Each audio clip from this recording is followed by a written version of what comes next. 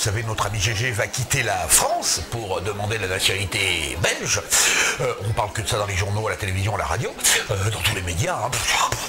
Alors, mais comment perçoivent euh, cette affaire euh, nos amis belges? Ah ouais, d'accord. Ok, d'accord.